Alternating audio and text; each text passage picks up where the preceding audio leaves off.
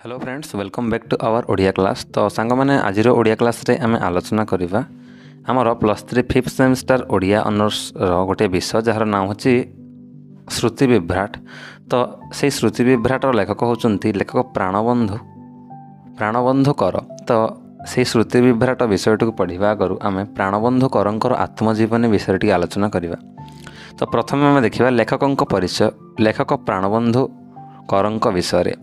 ପ୍ରାଣବନ୍ଧୁ କରଙ୍କ ଜନ୍ମ ହୁଏ ଉଣେଇଶହ ଚଉଦ ମସିହା କଟକ ଜିଲ୍ଲା ଅନ୍ତର୍ଗତ ବାଙ୍କି ନିକଟସ୍ଥ ଗ୍ରାମରେ ଏବଂ ଉଚ୍ଚଶିକ୍ଷିତ କୁଳୀନ ପରିବାରରେ। ଛାତ୍ର ଜୀବନରୁ ସାହିତ୍ୟ ପ୍ରତି ଆକୃଷ୍ଟ ହୋଇ ଗଳ୍ପ ଓ ଏକାଙ୍କିକା ରଚନା ମାଧ୍ୟମରେ ଓଡ଼ିଆ ସାହିତ୍ୟରେ ମନୋନିବେଶ କରି ଏକ ଅଦ୍ୱିତୀୟ ସ୍ଥାନ ଲାଭ କରିଥିଲେ ଲେଖକ ପ୍ରାଣବନ୍ଧୁ କର।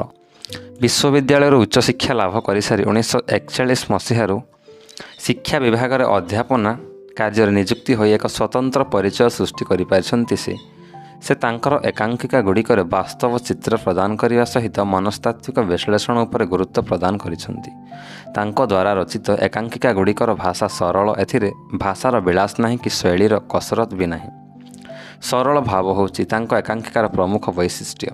ତାଙ୍କ ଏକାଙ୍କିକା ଗୁଡ଼ିକ ମଧ୍ୟରେ ପାଗଳ ଜନତା ବାହାରେ ଶିଳ୍ପୀର ମୃତ୍ୟୁ ବାସ୍ତବ ମହିଆ ପ୍ରବୀର ଦାସ ବାପୁଜୀ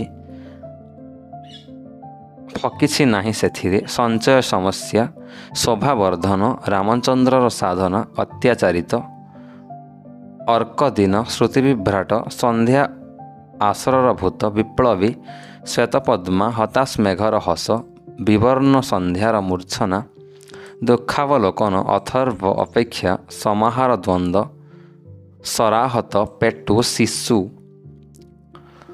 ଫକୁ ବୁଲିବାଲା ଦୀପା ପ୍ରଭୃତି ଅନ୍ୟତମ ଏସବୁ ବ୍ୟତୀତ ନାଟ୍ୟକାର ମାମୁଁ ଛଅମାଣ ଆଠଗୁଣ୍ଠ ଲଛମା ଏଗୁଡ଼ିକ ହେଉଛନ୍ତି ଏଗୁଡ଼ିକ ହେଉଛି ବ୍ୟାସକବି ଫକୀରମୋହନ ସେନାପତିଙ୍କର ଲେଖା ଏବଂ ମାଟିର ମଣିଷ ପ୍ରଭୃତି ଲୋକପ୍ରିୟ ଉପନ୍ୟାସ ଗୁଡ଼ିକୁ ନାଟ୍ୟ ରୂପ ପ୍ରଦାନ କରି ନିଜର ଅପୂର୍ବ କଳାକୁଶଳୀର ପରିଚୟ ପ୍ରଦାନ କରିଛନ୍ତି। ଏହାପରେ ଆମେ ଦେଖିବା ଓଡ଼ିଆ ଏକାଙ୍କିକାର ପ୍ରଥମ ପ୍ରଦର୍ଶକ ଭାବରେ ତାଙ୍କର ନାମ ସର୍ବଦା ଗ୍ରହଣୀୟ ଅଟେ।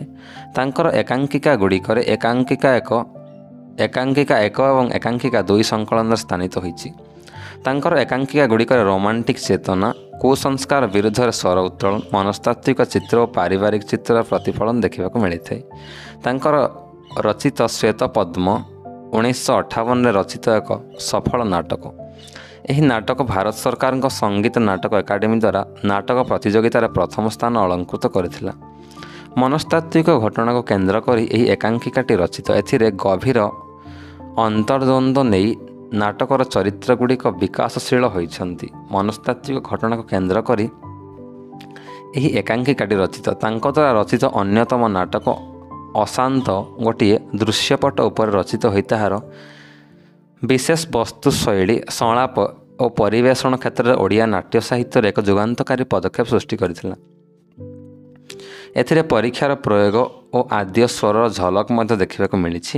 ସମ୍ପ୍ରତି ସମାଜର କେତେକ ବାସ୍ତବ ଓ ଜୀବନ୍ତ ଚରିତ୍ରକୁ ନାଟକରେ ଗ୍ରହଣ କରି ସେମାନଙ୍କର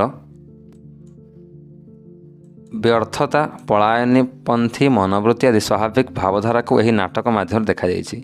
ତାଙ୍କ ରଚିତ ସ୍ନାୟୁ ସଂହାର ନାଟକଟି ପ୍ରଥମେ ଆକାଶବାଣୀ କଟକ କେନ୍ଦ୍ରରୁ ପ୍ରଚାରିତ ହୋଇ ବେଶ୍ ଗୌରବ ଅର୍ଜନ କରିଥିଲା। ପରେ ମଞ୍ଚ ନାଟକରେ ପରିବେଶିତ ଏହି ନାଟକଟି ଭାରତର ବିଭିନ୍ନ ପ୍ରାନ୍ତୀୟ ଭାଷାରେ ଅନୁଦିତ ହୋଇଛି। ବିଦେଶୀୟ ଭାରତୀୟ ଚରିତ୍ରକୁ ନେଇ ଏହି ନାଟକଟିରେ ଲେଖାଯାଇଛି। ଉଚ୍ଚଶିକ୍ଷା ପାଇଁ ବିଦେଶ ଯାଇଥିବା ନାଟକର ନାୟକ ଅଧ୍ୟାପକ ସୁଶାନ୍ତ ଓ ତାଙ୍କର ବନ୍ଧୁମାନଙ୍କର ଜୀବନ ପ୍ରତି ଦୃଷ୍ଟିଭଙ୍ଗୀ ମଧ୍ୟ ଏଥିରେ ଲେଖାଯାଇଥିଲା ଏହାପରେ ଆମେ ଦେଖିବା ଉଣେଇଶହ ଚଉବନ ମସିହାରେ ତାଙ୍କର ପ୍ରଥମ ଏକାଙ୍କିକା ସଂକଳନ ପ୍ରକାଶିତ ହୋଇଥିଲା। ସେ ତାଙ୍କ ଏକାଙ୍କିକା ଗୁଡ଼ିକରେ ସେ ପାତ୍ରମୁଖ ସହଯୋଗୀ ସଂଳାପ ବ୍ୟବହାର ବ୍ୟତୀତ ବେଶ୍ ଯତ୍ନଶୀଳ ହୋଇଛନ୍ତି। ତାଙ୍କର ପ୍ରଥମ ଏକାଙ୍କିକା ସଂକଳନ ପ୍ରକାଶନ ବେଳକୁ ସେ ଜଣେ ବିଶିଷ୍ଟ ଏକାଙ୍କିକା ଭାବେ ବେଶ୍ ଖ୍ୟାତି ଅର୍ଜନ କରିସାରିଥିଲେ। ଅଧ୍ୟାପକ ରାଜକିଶୋର ରାୟଙ୍କର କ୍ଷୁଦ୍ରଗଳ୍ପ ଏକାଙ୍କିକାର ଏକାଙ୍କିକା ରୂପ ହେଉଛି ଏହି ସଂକଳନର ପ୍ରଥମ ଏକାଙ୍କିକା।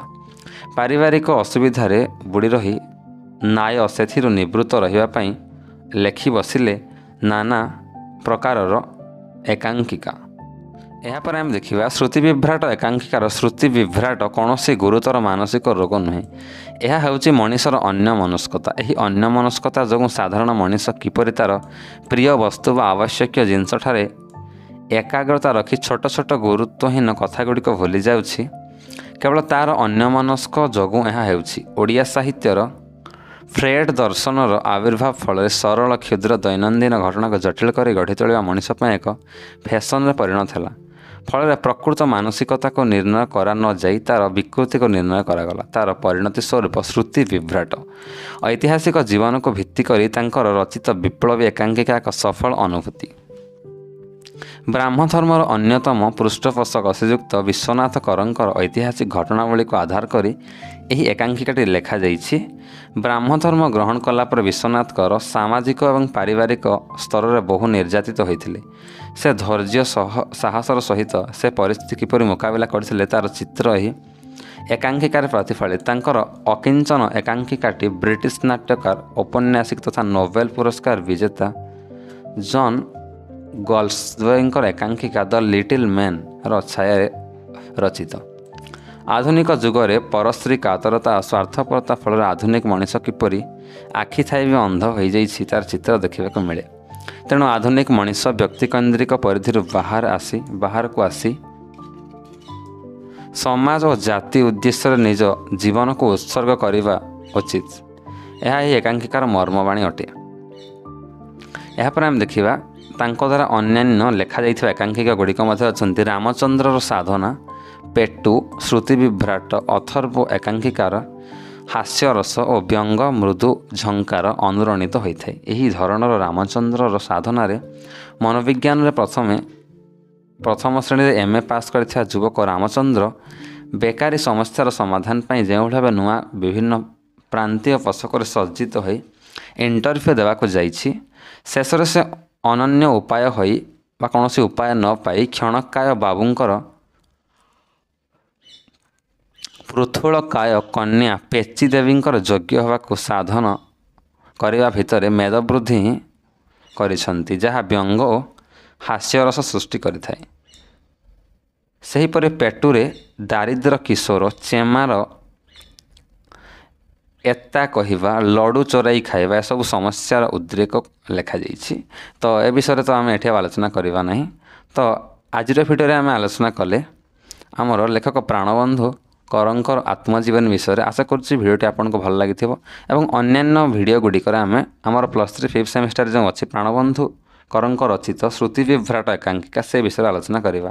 ତ ଆଜିର ଭିଡ଼ିଓରେ ଏତିକି। ପୁଣି ଦେଖା ହେବ ଅନ୍ୟ ଏକ ଭିଡ଼ିଓରେ। ସେଥିପାଇଁ ମୋତେ ବିଦାୟ ଦିଅନ୍ତୁ। ଜୟ ହିନ୍ଦ ଜୟ ଭାରତ।